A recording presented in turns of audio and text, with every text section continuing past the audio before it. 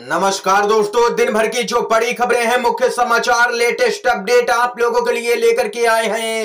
एक एक करके दिन भर के मुख्य समाचार आप तक पहुंचाएँगे, जहाँ पर पहली बड़ी खबर में बात होगी। कांग्रेस पार्टी ने कर दी है मुख्यमंत्री और राज्यपाल पर बड़ी कार्रवाई की मांग। दूसरी बड़ी खबर में बात होगी महाराष्ट्र के चुनाव में। यहाँ पर कांग्रेस पार्टी दूसरे सिंबल पर लड़ेगी एक सीट पर। इसको लेकर के ताज़ा अपडेट आ रही है। आखिर क्या कुछ है पूरी खबर जानेंगे। तीसरी बड़ी खबर में दोस्तों आप लोगों को यहाँ पर बताएँगे कि आखिरकार सीजीआई बार बार सफ़ाई क्यों दे रहे हैं कि हमारी सरकार के साथ में कोई भी डील नहीं है। रिटायरमेंट से पहले बड़ा खुलासा हो गया।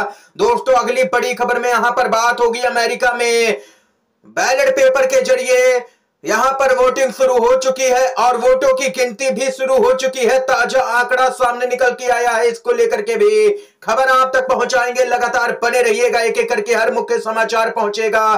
खबरों में बढ़ेंगे दोस्तों। से पहले अगर आप लोग भी खुले तौर पर यही मांग करते हैं कि देश में एक स्वस्थ लोकतंत्र के लिए निष्पक्ष चुनाव होना बेहद ही ज़रूरी है और बैलेट पेपर के ज़रिए वोटिंग होनी चाहिए। तो अभी इस वीडियो को लाइक कीजिएगा दोस्तों और कमेंट बॉक्स में we support ballot paper comment कीजिएगा। दोस्तों, पहली जो बड़ी खबर आ रही है, बताते चले आप लोगों को यहाँ पर। जी हाँ दोस्तों, अमेरिका में एक तरफ़ वोटिंग तो दूसरी तरफ़ काउंटिंग भी शुरू हो गई है। कमला और ट्रंप को मिल चुके हैं। तीन तीन वोट। दरअसल दोस्तों, आप लोगों को यहाँ पर बताते चले, अमेरिकी चुनाव में निर्णायक घड़ी आ चुकी है। डोनाल्ड ट्रंप और कमला हैरिस के बीच में काफ़ी करीबी मुकाबला देखने को मिल रहा है। यहाँ पर दोस्तों, बताते चले, एक तरफ़ यहाँ पर वोटिंग भी शुरू हो चुकी है तो वहीं दूसरी तरफ़ काउंटिंग भी साथ में ही शुरू कर दी गई है। अब दुनिया के सबसे पुराने लोकतंत्र में इस बार कौन बाजी मारने वाला है, इसका पता अब कुछ ही दिनों के अंदर चल जाएगा। इस बार के अमेरिकी चुनाव में कई मुद्दे हावी रहे हैं। और इतना ही नहीं दोस्तों, बड़ी बात यह है कि अमेरिका के चुनाव में जीत किसी भी पार्टी की हो जाए, असर तो पूरी दुनिया पर पड़ता ही है। व्यापार, अर्थव्यवस्था से लेकर के द्विपक्षीय रिश्तों पर असर पड़ना तय है। और इतना ही नहीं दोस्तों, अमेरिकी चुनाव के जो शुरुआती सर्वे आने शुरू हुए हैं। उनमें कमला हैरिस को मामूली बढ़त देखने को मिल रही है। न्यूयॉर्क टाइम्स के पोल के मुताबिक कमला हैरिस को उनचास फ़ीसदी वोट मिलते हुए दिख रहे हैं और वहीं डोनाल्ड ट्रंप यहाँ पर पिछड़ते हुए नज़र आ रहे हैं। ट्रंप की बात करें तो उन्हें 48 फ़ीसदी वोट यहाँ पर मिल सकते हैं, यानी कि एक प्रतिशत वोट से ट्रंप पिछड़ते हुए नज़र आ रहे हैं। दोस्तों, बैलेट पेपर के ज़रिए अमेरिका में यहाँ पर वोटिंग भी शुरू कर दी गई है और यहाँ पर साथ में ही काउंटिंग भी की जा रही है। बैलेट पेपर के ज़रिए वोटिंग होती है तो सीधी सी बात है कि इसमें कई दिन लग जाते हैं वोटों की गिनती करने में और नतीजे जारी करने में। लेकिन देश की जनता का भरोसा चुनावी प्रक्रिया पर बना रहे और चुनाव निष्पक्ष हो, इसीलिए अमेरिका बैलेट पेपर से वोटिंग कराता है दोस्तों। ये यहाँ पर खबर आई है। इसके साथ ही अगली अपडेट की तरफ़ बढ़ते हैं। महाराष्ट्र की वो सीट जहाँ पर पंजा नहीं, प्रेशर कुकर सिंबल पर चुनाव लड़ेगी कांग्रेस पार्टी। महाराष्ट्र विधानसभा की 288 सीटों पर कौन कहाँ से चुनाव लड़ेगा? नामांकन वापस लेने के बाद इसकी फाइनल तस्वीर साफ़ हो गई है।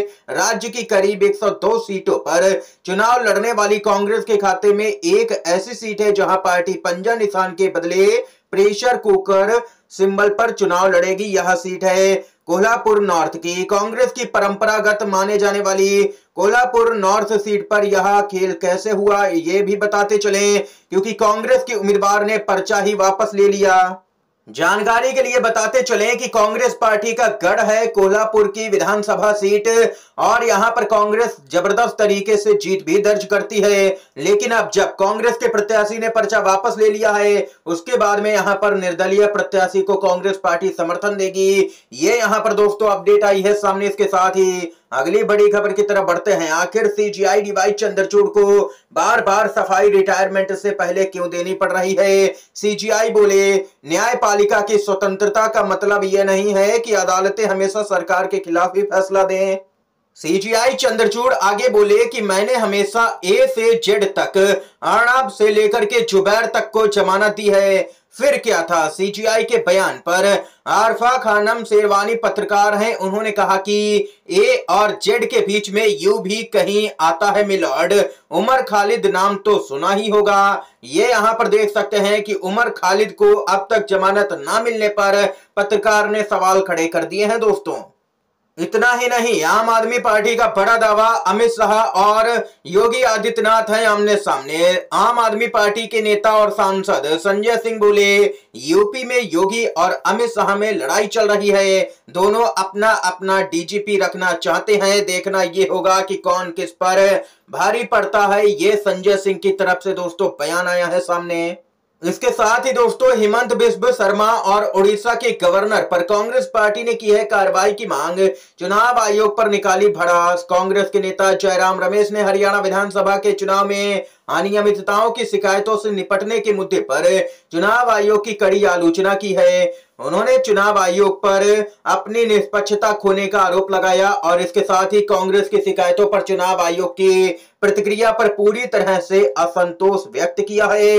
जयराम रमेश ने चुनाव प्रचार के दौरान असम के मुख्यमंत्री हेमंत बिस्व शर्मा के सांप्रदायिक और भड़काऊ बयानबाजी के लिए उनके खिलाफ कार्रवाई की मांग भी की है। और इतना ही नहीं दोस्तों, जयराम रमेश ने उड़ीसा के राज्यपाल रघुवर दास से जुड़े एक अन्य मुद्दे को यहाँ पर उजागर किया, जिन्होंने यहाँ पर देख सकते हैं कि जमशेदपुर में चुनावी प्रचार किया था। कांग्रेस पार्टी ने तर्क दिया है कि संवैधानिक पद पर बैठा हुआ व्यक्ति आखिर कैसे चुनाव प्रचार कर सकता है। ये यहाँ पर दोस्तों देख सकते हैं कि चुनाव आयोग के पास जब शिकायत जाती है तो चुनाव आयोग कहता है कि हमारे पास तो कोई सबूत ही नहीं है। इस तरीके से देश का निष्पक्ष चुनाव आयोग काम कर रहा है दोस्तों। बड़ी अपडेट है, महाराष्ट्र से जहाँ पर शरद पवार ने चुनावी राजनीति से संन्यास के संकेत दिए बोले, कहीं तो रुकना ही पड़ेगा। जी हाँ, दोस्तों, बताते चले। एनसीपी शरद पवार के प्रमुख, शरद पवार ने संकेत दिए हैं कि वे अब कोई भी चुनाव नहीं लड़ेंगे। शरद पवार ने कहा है कि कहीं तो रुकना पड़ेगा। महाराष्ट्र चुनाव से पहले शरद पवार का ये बड़ा बयान सामने निकल के आया है। शरद पवार को राजनीति का चाणक्य भी कहा जाता है। और यहाँ पर भाजपा पूरी तरह से शरद पवार के सामने बैक फुट पर ही हर चुनाव में नज़र आती है, क्योंकि जो रणनीति शरद पवार बनाते हैं, उसकी काट यहाँ पर बीजेपी के पास होती ही नहीं है और बीजेपी को मुँह की खानी पड़ती है। शरद पवार ने कहा है कि मैं कोई चुनाव नहीं लड़ना चाहता। चुनाव को लेकर के मुझे अब रुकना चाहिए और नई पीढ़ी को आगे आना चाहिए। ये यहाँ पर कहना है दोस्तों, शरद पवार का इतना ही नहीं, नेता विपक्ष राहुल गांधी की तरफ़ से अपडेट आ रही है। रायबरेली के दौरे पर पहुँचे राहुल गांधी। नौ सड़कों का किया है लोकार्पण। शहीद चौक का भी उद्घाटन किया है। जी हाँ दोस्तों, नेता प्रतिपक्ष और रायबरेली से सांसद राहुल गांधी दिशा की बैठक में शामिल हुए। इससे पहले वह यहाँ पर लखनऊ होते हुए रायबरेली पहुँचे और आप लोगों को आगे बताते चले। इस दौरान यहाँ पर राहुल गांधी कई कार्यक्रमों में शामिल हुए और इतना ही नहीं, कांग्रेस के जो तमाम नेता हैं, उनसे भी यहाँ पर राहुल गांधी ने मुलाकात दोस्तों की है। इस समय की आज की दोस्तों, तमाम बेहद ही बड़ी खबरें थी, मुख्य समाचार सामने निकल के आए, जो हमने आप तक पहुँचाए हैं दोस्तों इस वीडियो के माध्यम से। वीडियो अगर आप लोगों को दोस्तों पसंद आया हो तो लाइक कीजिएगा, इन खबरों को शेयर कीजिएगा अपने दोस्तों में, और चैनल पर अगर नए हैं तो चैनल को ज़रूर ही सब्सक्राइब कीजिएगा। वीडियो देखने के लिए दोस्तों आप सभी का बहुत बहुत धन्यवाद। जय हिंद, जय भारत।